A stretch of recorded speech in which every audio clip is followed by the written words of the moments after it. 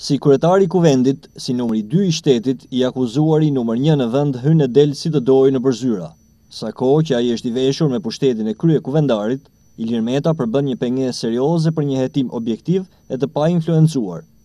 Kështu ka deklaruar sot nënkryetari i Partisë Demokratike Edi Paloka në një prononcim për mediat nga selia blu. Paloka i është referuar një takimi që kreu i Kuvendit, Ilir Meta kishte zhvilluar me ministrin e Brendshëm Saimir Tahiri para se ky i fundit të shkonte në Prokurorinë e Krimeve të Rënda.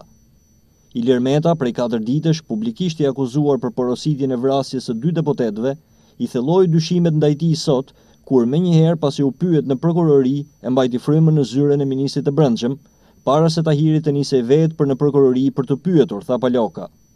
I akuzuari për organizimin e dy vrasjeve i doli përpara të akuzuarit tjetër, Tahirit, si fshehës i ngjarjes, pak përpara se ky i fundit të shkonte për të dëshmuar.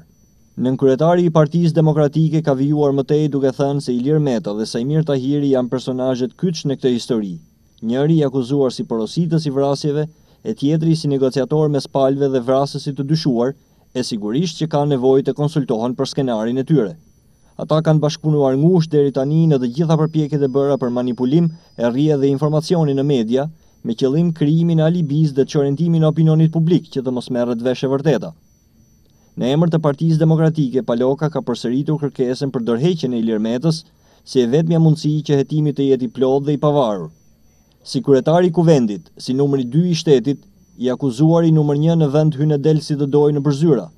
Sa kohë që ai është i veshur me pushtetin e kryekuvendarit, Ilir Meta përbën pengesë serioze për një hetim objektiv e të painfluencuar.